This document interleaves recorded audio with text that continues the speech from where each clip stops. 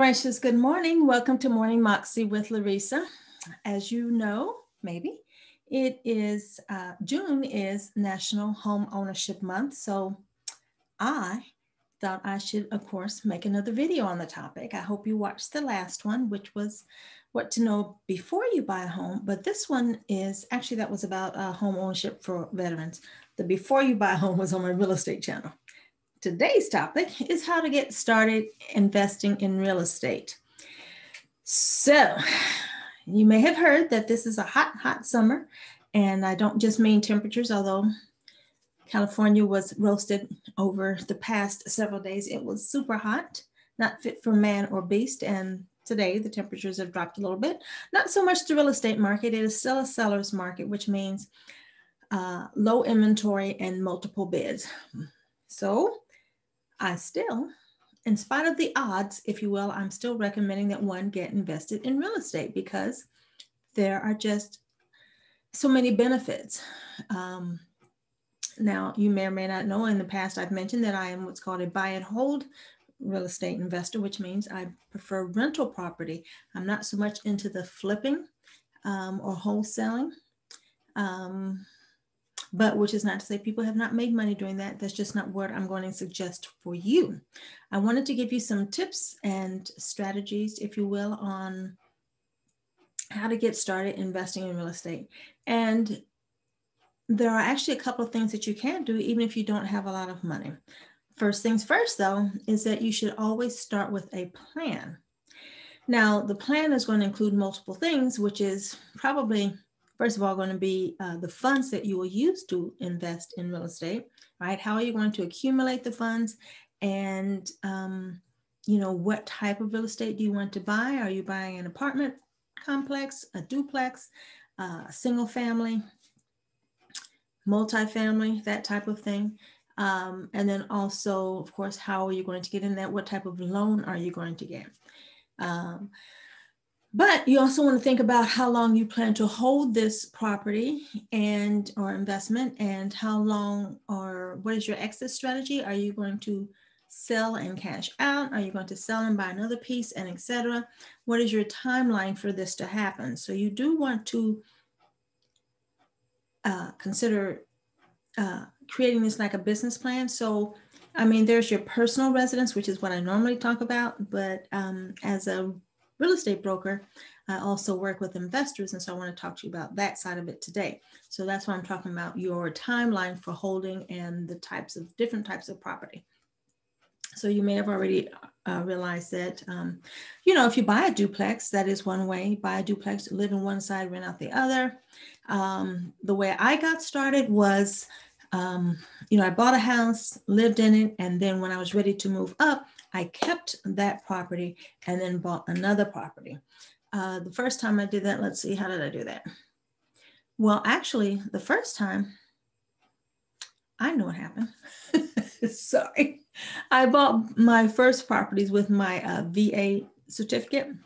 Actually, the first one, I think we used my husband's VA certificate. And in the second property, we kept this first house to rent. And then the second property, we used my VA certificate. So we both were in the military, so we had VA, loans that we could get.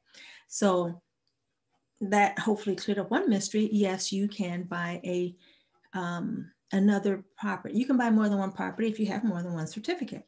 Now, if you want to use the same certificate, that first loan would have to be paid off. Anyhow, anyway, what I wanted to get across to you is that you buy your starter home, and then when you're ready to move up, you keep that property, rent it out, and then move your uh, buy your second, and so on. That is the first way. Now, when you get to the second property, which is um, actually I sold that one, and from the proceeds, I bought another property, a condo, and also a rental property. So you could use the proceeds from the seller house to buy more than one house, right?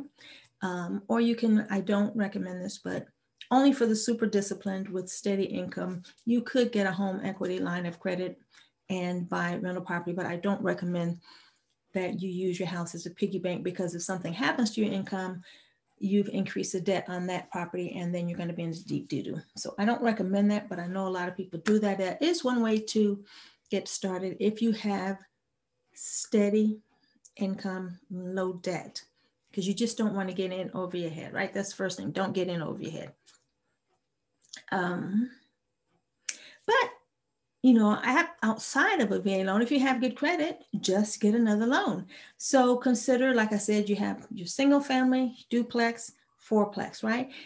Either with the duplex and the fourplex, even if you use a VA loan, you can buy multi, you can buy up to a fourplex as long as you're living in one of the units. But even without a VA loan, still consider buying a duplex, fourplex, renting one, living in one, and renting out the other units, right? That's that's you know golden. And if you want multifamily, more than four units, well, maybe you get a partner. You know, maybe that's. But if you get a partner, even if it's family, get the agreement in writing so all the terms are spelled out, and it's a legal binding document, right? And then what I want to suggest that if you are as a first time buyer, buy locally. Now, depending on where you live, uh, it may be more challenging, like in California, it's expensive in almost all parts of California. Now, if you go deeper into the valley or um, central California, it could be a little bit more affordable, but obviously next to the bigger cities, it is going to be uh, more expensive and difficult to do. Not impossible, just difficult because you could buy a fixer upper and you know, if you are handy or have some construction funds, then that's fine. Buy a fixer upper. It's not, you know, it doesn't cost you as much, knowing that you need to add, I don't know, twenty, thirty thousand dollars in repairs to bring it up to, say, your standards or rental standards. Whom, however, um, a fixer upper is also a way to go. As a matter of fact, um, HUD, that's Housing and Urban Development.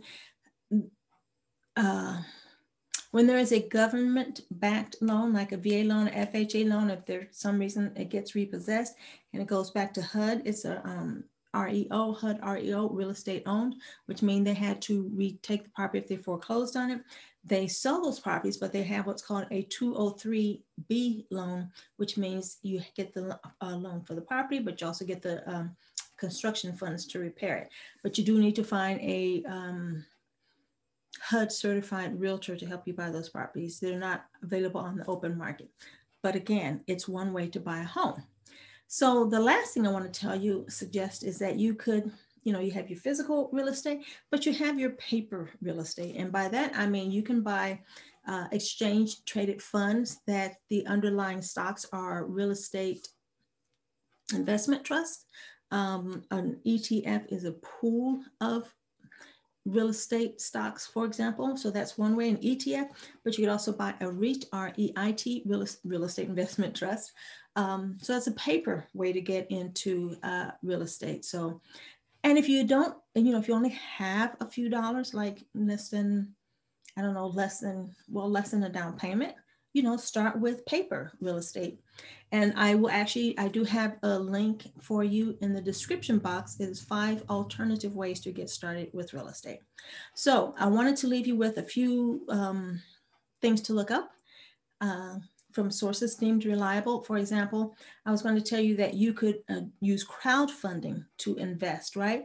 So there are Investopedia. You may have heard about Investopedia. It provides um, finance financial information for you know people interested parties. If you have questions you can go to investopedia.com and they suggest they have a list of crowdfunding sources which is one way crowdfunding means you are pooling your money to invest with others.